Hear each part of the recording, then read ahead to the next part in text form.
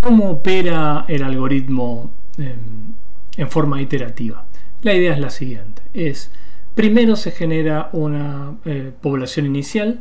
Esta población inicial es completamente aleatoria y no hay acá ningún mecanismo de selección. Simplemente eh, pensemos en, en individuos que son, si tenemos una codificación binaria, generados en forma aleatoria con valores 0 y 1 para cada uno de sus genes. Eh, obviamente en la población inicial, más grande es la población, mejores resultados va a tener el método, pero en general esto va a tener acarreada una, un mayor tiempo y, mayor memoria que va a consumir el algoritmo. Entonces, primero tenemos una generación inicial completamente producida al azar.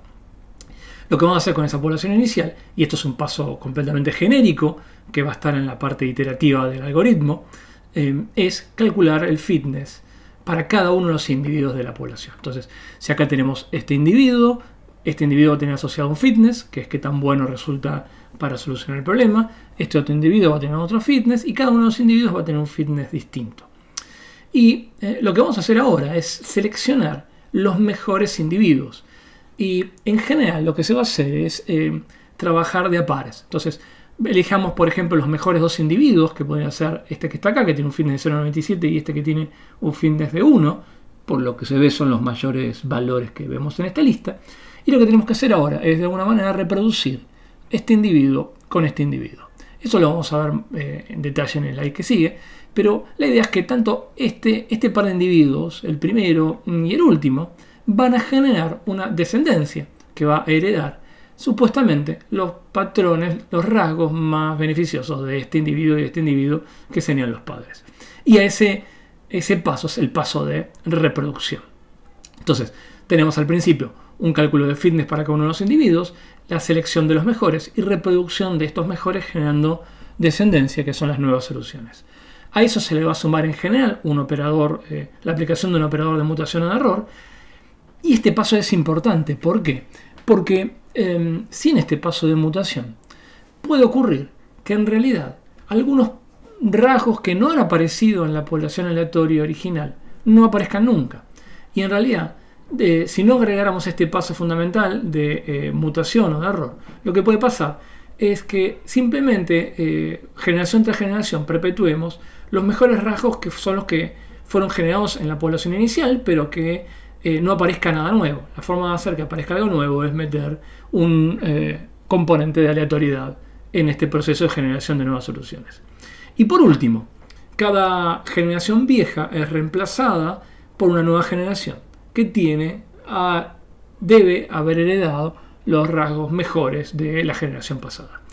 Y una vez que tengo esta nueva población, vuelvo a repetir lo mismo. A cada uno de esos individuos se le calcula el fitness, se seleccionan los mejores, se reproducen los mejores, se les agrega error, eh, se reemplaza la población y volvemos a repetir esto. Estos pasos, cada uno de estos pasos se los conoce como una generación y es de esperar que eh, los individuos mejor adaptados de las nuevas generaciones tengan mayores medidas de fitness. Lo que es fundamental de todo esto es este operador, que es el operador de reproducción. Entonces lo que vamos a mirar en un poquito de detalle es cómo se genera la reproducción. Entonces, pensemos, eh, obviamente que eh, hay diferentes formas de hacer esto. Yo voy a contar el método más tradicional para codificación binaria, que es hacer lo siguiente. Pensemos por un segundo que acá tenemos dos individuos que han sido seleccionados por orden alto fitness el primer individuo con una cierta codificación y el segundo individuo, con una cierta codificación, otra codificación. Lo que se hace es se genera en forma aleatoria un punto de corte, a partir del cual se va a producir un intercambio de genes de eh, los dos individuos de la generación precedente para generar los nuevos dos individuos. En este caso el punto aleatorio de corte es haber seleccionado los últimos cinco genes. Y lo que podemos ver es que lo que hacemos es un swap donde em, el primer descendiente es la primera parte igual al individuo 1 de la generación anterior, pero si ahora se le intercambia la segunda parte, que sería como un cromosoma, del segundo individuo. Y lo mismo pasa con el segundo descendiente, que es descendiente, que es igual al segundo individuo, pero ahora la segunda parte se suapea, se, se cambia por la eh, segunda parte del primer individuo de la generación anterior. ¿Esto qué produce? Y pensemos un segundo en lo importante de esto. Lo que produce son dos individuos que son distintos de los precedentes, pero que preservan, preservan los atributos que em, tenían los individuos anteriores, que presumiblemente son importantes para tener una buena adaptación.